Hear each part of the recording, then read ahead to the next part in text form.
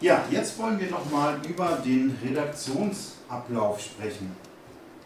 Das heißt, am Anfang mache ich das und dann übernimmt Laura für eine Praxisübung, weil wir wollen ja nicht nur in der Theorie mit euch über Redaktion reden, sondern tatsächlich auch ein kleines Projekt mal durchspielen, wo wir so tun, als wären wir ein Kirchenkreis und wollen zusammen, oder ein Team und wollen zusammen ein Projekt machen. Ähm, wenn wir Social Media Redaktionen machen, jetzt erstmal unabhängig davon, welche Kanäle wir bespielen, ist meine Erfahrung, es hilft ungemein, wenn man sich vorher ein Konzept macht.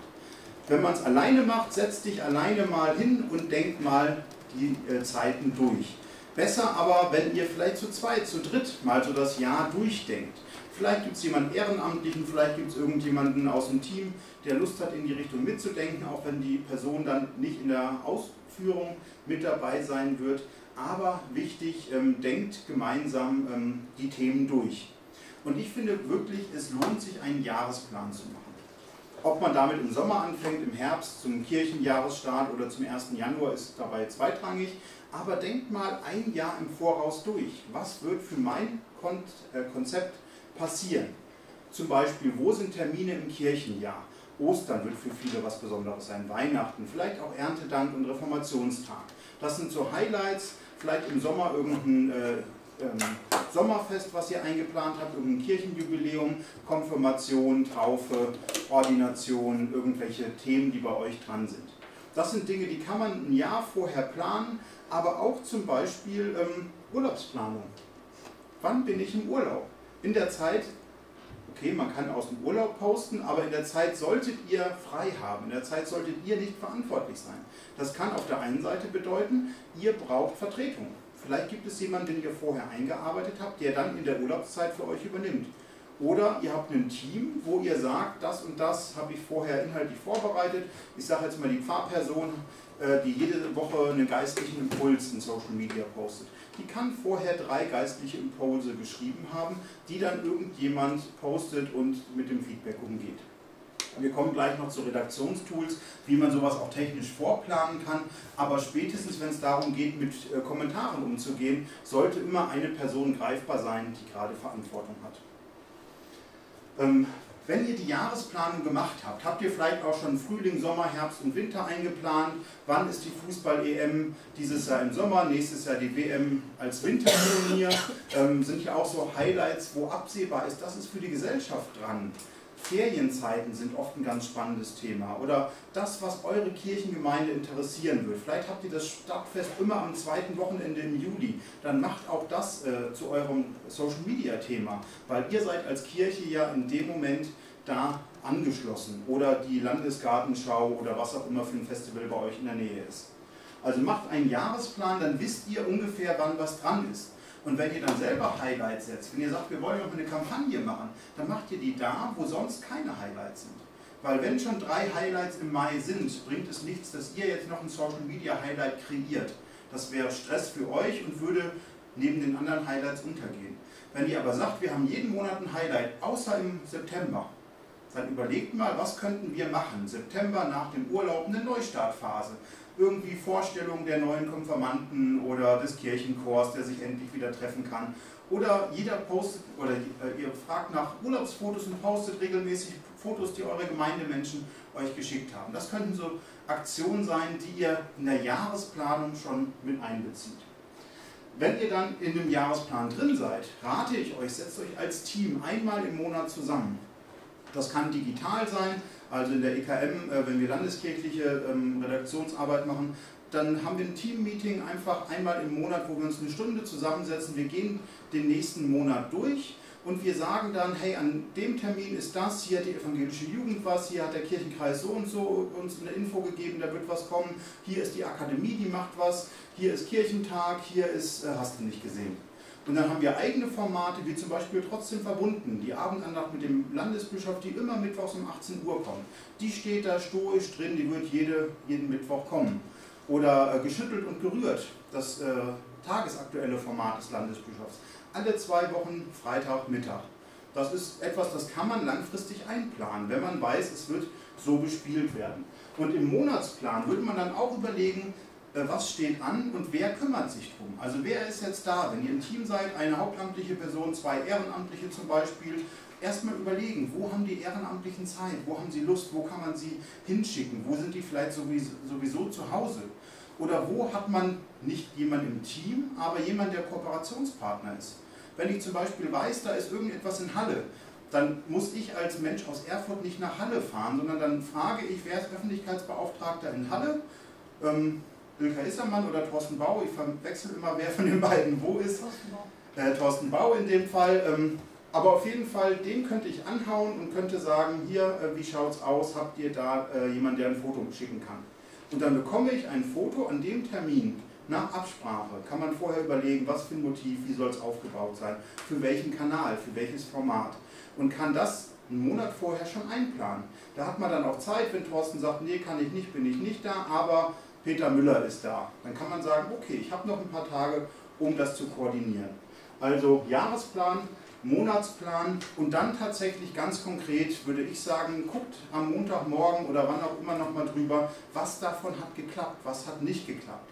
Also auf der einen Seite ein bisschen Feedback, mal gucken, wo ist was schiefgegangen, wo hat ein Post nicht funktioniert, um einfach da auch zu evaluieren, weiterzukommen. Und auf der anderen Seite dann auch wirklich zu gucken, wir haben es aufgeteilt, aber die Ehrenamtlichen haben es nicht geschafft oder da ist was untergegangen. Dann ist es manchmal gut zu sagen, wir wollen an der Stelle tatsächlich nochmal nachbessern oder hier improvisieren nochmal äh, reinkommen. Und jetzt habe ich euch noch eine Sache mitgebracht, die ich euch in den Chat stelle. Moment. Schon gestellt hast? Nee, das, also das, was ich eben in den Chat gestellt habe, das ist das Template für den Redaktionsplan, da kommen wir gleich drauf. Aber die Reihenfolge habe ich ein bisschen verhunzt. Ich habe jetzt noch einen Redaktionsplan für eine fiktive Ortsgemeinde. Das habe ich für ein anderes Seminar mal erarbeitet und vielleicht hilft euch das. Dafür habe ich es euch einfach mal an die Wand, äh, in den Chat gestellt, müsste jetzt durch sein. Und, ach so, genau. Ja, bin wieder irritiert. Genau, eine Folie habe ich noch vergessen, gehe ich noch kurz durch, bevor wir dann gleich zu dem Dokument kommen. Ähm, wenn ihr Redaktionsplan macht, dann überlegt euch, was ist eure Kernaussage, was habt ihr mitzuteilen und wer ist eure Zielgruppe, wen wollt ihr erreichen. Diese zwei Fragen, die beeinflussen sehr stark den Stil, die Sprache und den Inhalt von dem, was ihr kommuniziert. Ganz egal, welche Medien ihr am Ende benutzt. Dann haben wir eben schon gesagt, macht einen Jahresplan, Monatsplan, tragt euch Fixtermine ein, den Jahreskreis, allgemeine Themen und mein Tipp wäre, das kommt aus der Facebook-Zeit, ähm, kann man für Instagram und andere Netzwerke noch mal ein bisschen anpassen, aber zweimal täglich etwas zu posten, zweimal wöchentlich wäre so ein Minimalwert, ähm, einfach um im Rahmen eurer Möglichkeiten bei den Leuten aktiv zu bleiben. Und wenn ihr was postet, ähm, ist eine Sache, morgens früh etwas zu posten, wenn die Leute aufstehen, so einen guten Morgenpost. Und so einen Feierabendpost, wenn die Leute aus dem Büro kommen. Das ist auf der einen Seite hilfreich, um die Leute in ihrem Alltag äh, zu verschiedenen Zeiten zu erreichen, bei ihnen in der Timeline oben zu bleiben und auf der anderen Seite vielleicht für euch ganz gut machbar, dass ihr morgens, wenn ihr anfangt, einen Post absendet, dass ihr nachmittags, bevor ihr Feierabend macht, einen Post absendet. Man muss natürlich dann einplanen, dass vielleicht jemand antwortet, dass man dann nicht Feierabend hat, sondern nochmal zumindest am Handy erreichbar sein muss. Und warum man morgens um 6 nicht im Büro sein muss, um morgens um 6 zu posten, da kommen wir gleich zu. Vielstimmigkeit finde ich noch wichtig, dass einfach verschiedene Menschen zu Wort kommen können. Also selbst wenn ihr eine hauptamtliche Person seid, müsst ihr nicht alles selbst posten, sondern könnt einfach auch Leute zu Wort kommen lassen. Und das haben wir eben schon gesagt, teilt das, was andere machen. Ihr müsst nicht alleine Social Media machen, teilt euch gegenseitig, liked euch gegenseitig, kommentiert, Cross-Posting, sorgt dafür, dass ihr im Algorithmus als wertvoll wahrgenommen werdet. Und jetzt, die schon angekündigte Tabelle, ist an der Wand wahrscheinlich sehr klein, aber wenn ihr sie als PDF habt, könnt ihr sie vergrößern, wie ihr braucht. Da möchte ich einfach nur mal kurz drauf eingehen, das ist jetzt tatsächlich eine fiktive Gemeinde, die sagt, wir feiern jeden Sonntag einen Gottesdienst und wir wollen aktiv Social Media machen, haben aber eigentlich gar keine Zeit, um das aktiv zu bespielen. Dann wäre mein Tipp, ähm, baut um euren Gottesdienst und um euer Gemeindeleben, was sowieso läuft, eure Posts auf.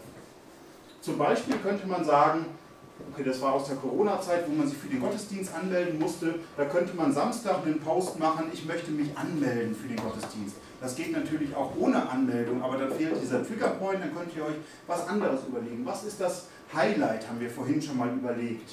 Ähm, dann hat man vielleicht sonntags einen Livestream. Das haben manche in der Pandemie angefangen.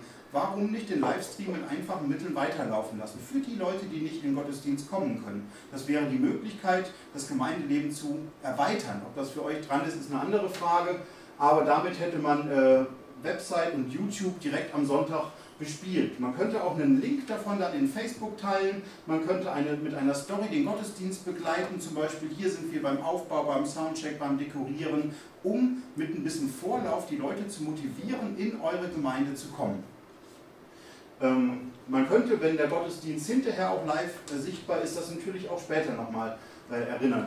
Auch montags zum Beispiel Outtakes vom Gottesdienst. So schön war es bei uns zu sein. Äh, hier nochmal ein Highlight aus der Predigt. Vielleicht habt ihr was aufgenommen aus der Predigt, vielleicht habt ihr ein, ein, Foto. Ich bin in einer Gemeinde in Erfurt, wo wir die Prediger nach dem Gottesdienst kurz mit einem Handy im Hochkantformat äh, fragen, was waren die Highlights aus deiner Predigt? Und dann erzählen die in einer Minute nochmal eine Mini-Zusammenfassung, die wir dann als Story auf Instagram teilen können oder in einem Videoformat, wo wir sagen, da kann Montag oder Dienstag eine Erinnerung kommen mit dem Hinweis, die gesamte Predigt findet ihr online. Das heißt, die Website bleibt das Zentrum, wo alle Inhalte zu finden sind und über Facebook, über Instagram, über YouTube werden verschiedene Medien angeboten, die dann da findbar sind. Ähm, am Mittwoch oder am Donnerstag könnte man zum Beispiel einen regelmäßigen Gemeindenewsletter verschicken, wo man sagt, äh, wir haben Artikel auf der Website. Ähm, wir haben eben schon das Graystyle ähm, Nutman Studio System angeboten ähm, oder angepriesen, wo man wunderbar sagen könnte, ihr habt fünf, sechs Artikel auf eurer Website im Konzept, die per Knopfdruck automatisiert zu einem Newsletter werden. Dann hat man kaum Arbeit. Also eine halbe Stunde Arbeit für den Newsletter mit allem drum und dran und zwischendurch noch mal ein bisschen Arbeit für die Artikel, die man erstellt, weil man sie sowieso als Textbausteine braucht. Und dann seid ihr relativ schnell fertig. Drumherum habe ich noch einiges vom Gemeindeleben positioniert. Dass man überlegt, wo haben wir vielleicht Wochentermine, die wir am Anfang auf die Website stellen. Immer ein Top-Thema, was die Leute auf eurer Website als erstes sehen. Montags die Wochentermine, Dienstags vielleicht ein aktuelles Spendenprojekt, Mittwochs vielleicht ein kurzes Midweek-Video, wo man Fragen aus dem Gottesdienst aufgreifen kann oder Fragen, die im Gemeindeleben dran sind.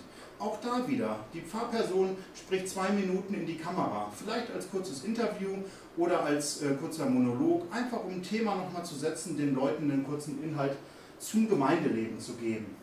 Auch da könnte man vielleicht ein Shareable draus machen für Facebook, für Instagram. Eine Story vielleicht als Umfrage, wo man direkt sagt, hier hast du was gesehen, was denkt ihr denn dazu? Und die Leute können Feedback geben dazu. Ähm, Donnerstag könnte man zum Beispiel sagen, wir stellen einen Dienstbereich vor oder eine Gemeindegruppe. Sei es die Konfi-Gruppe, sei es das Blumenschmuckteam, was den Gottesdienstraum schön macht, den Küster oder irgendjemanden, die gute Seele, die immer in eurem Gemeindeleben aktiv ist. Ähm, man könnte sagen, wir haben Gebetsanliegen. Vielleicht habt ihr einen Gebetskreis, der sagt, schickt uns Gebetsanliegen, dann beten wir für euch. Auch das kann man über Social Media teilen, kann man auf die Website packen. Äh, oder man könnte äh, in einer Story über Instagram Gebetsanliegen sammeln. Die Online-Kirche macht gute Erfahrungen damit, digital nach Gebetsanliegen zu fragen. Wenn ihr Leute habt, die das Beten auf dem Herzen haben, macht das.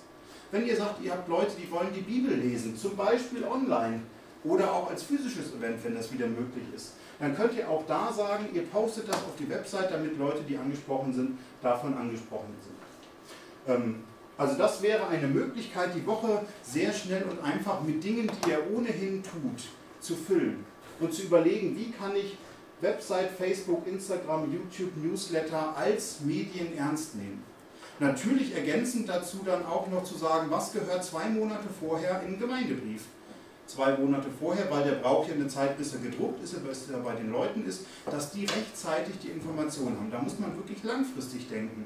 Was gehört in den EKM-Terminkalender, damit auch Leute außerhalb eurer Gemeinde davon mitbekommen?